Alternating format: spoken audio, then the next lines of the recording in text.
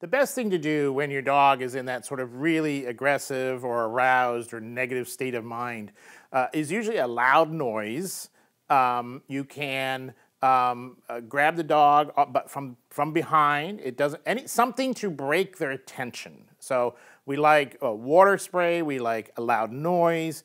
Um, getting in their line of vision. Um, what you don't want to do is to reach in and grab a collar or grab onto the animal because they perceive that as an attack.